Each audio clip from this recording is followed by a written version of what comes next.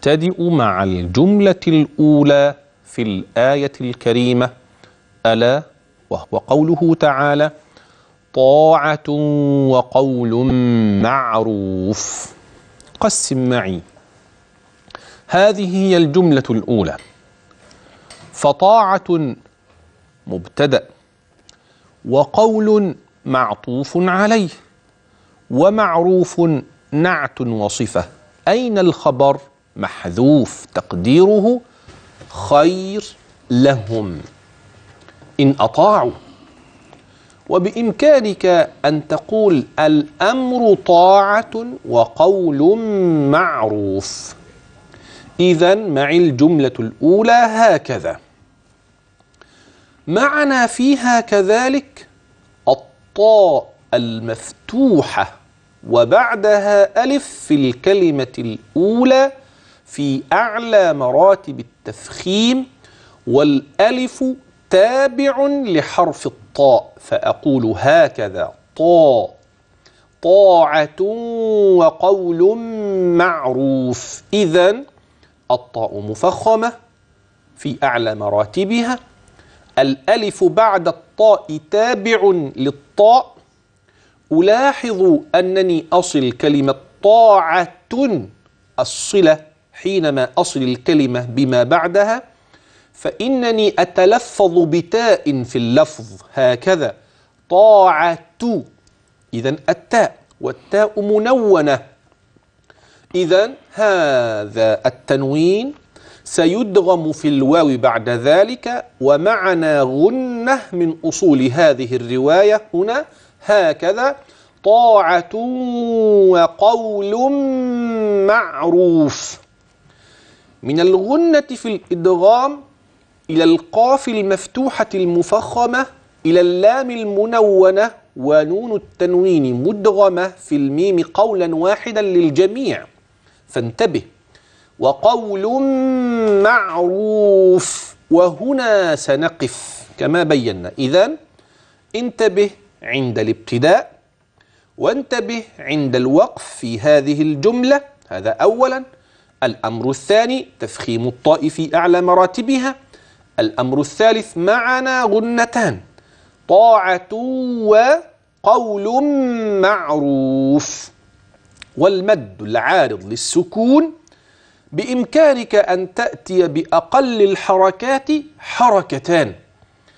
ساوي بين مد طاعة وبين معروف. طا معروف. لكن من الخطأ أن تأتي بالمد الطبيعي على أصله في كلمة طاعة وأن تبتر العارض للسكون في كلمة معروف فذاك أقل فانتبه. ذاك باختصار ما في الجملة الأولى من الآية الأولى. الجملة الثانية من الآية الأولى بإمكانك لو كان النفس ضعيفا أن تقسمها على ما سيأتي. فإذا عزم الأمر ولهذا الوقف وجه سأوضح لك معناه. فلو صدقوا الله لكان خيرا لهم. مرة ثانية فإذا عزم الأمر إذا نعم ظرف لما يستقبل من الزمن. مبني على السكون نعم. خافض لشرطه نعم. متضمن معنى الشرط يحتاج إلى جواب فأين الجواب؟ إن نويت أن الجواب كذبوا وأخلفوا الوعد مع الله ورسوله إذا محذوف لأنه معلوم من السياق. بإمكانك أن تقف فتقول فإذا عزم الأمر. ونسير سير الضعفاء إذ أننا أعني نفسي قصير فسأقف هنا. على هذا المعنى يكلمني آخر لا لن أقف. وسأصنع مثل صنيع سيدنا لما تلا. أعني الشيخ عبد الباسط. فقد وصل فإذا عزم الأمر فلو صدقوا الله لكان خيرا لهم. هل المعنى يتغير؟ المعنى هو هو كما هو. ولكن الفارق في الجواب. الجواب في الوقف الأول محذوف لأنه معلوم من السياق. وعلى أنك ستصل إذا فالجواب هي الجواب هو أو هي هو أي الجواب؟ وهي أي الجملة القادمة من الشرط وجوابه كده على بعض بين قوسين هي جواب الشرط في إذا. يعني جملة فلو صدقوا الله لكان خيرا لهم هذا هو جواب إذا عزم الأمر. والعزم الجد والتحقيق والمضي في الأمر. إذا إن نويت أن الجواب محذوف تقف. لذا قال الأشموني إن قدرت هذا فالوقف جائز. وإن جعلت الجواب فلو صدقوا الله لكان خيرا لهم فليس الوقف بجائز. إذا أمامك هذا وأمامك هذا وأنت مخير بينهما فليس في أحدهما فضل على الآخر إلا ما ترتئيه أنت. من أين الدليل؟ وليس في القرآن من وقف وجب ولا حرام غير ما له سبب. هذا هو الأمر الثاني في الآية الثانية لا في الجملة الثانية من الآية الأولى. الأمر الأول. الثاني الذال في قوله فإذا أن تخرج فيها طرف اللسان. نبهتنا عليها كثيرا. وكذا في الاستعاذة. لا تنبيه اليوم يختلف. لماذا؟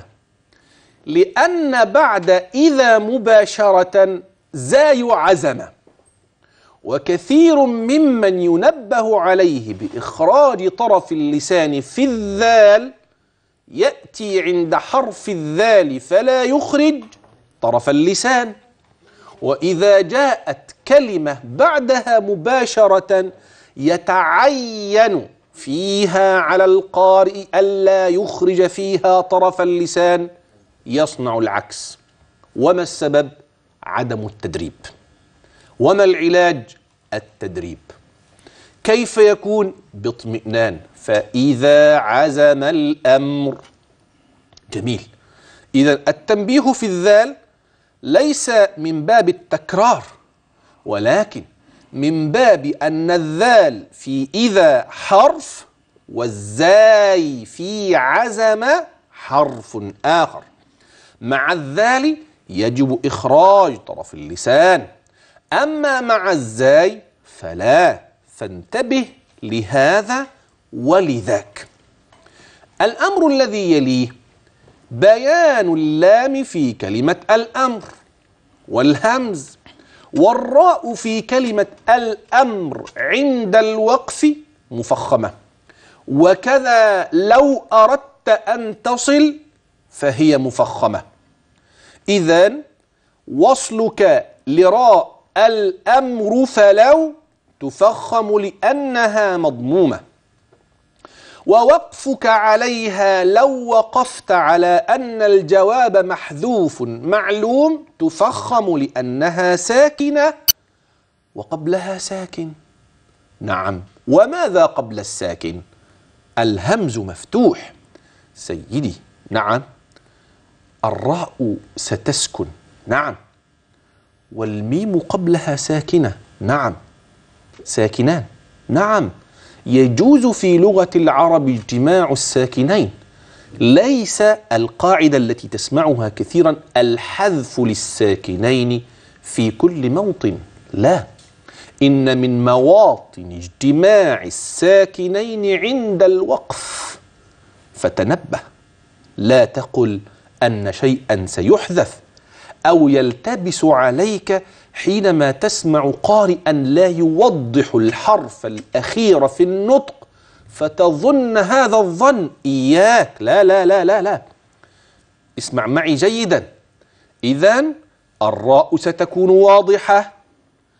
ثانيا التقاء الساكنين في الوقف يجوز. رابعا احترس من تكرار الراء لا من إعادتها. فالناظم نبه على ذلك بقوله وأخف تكريرا.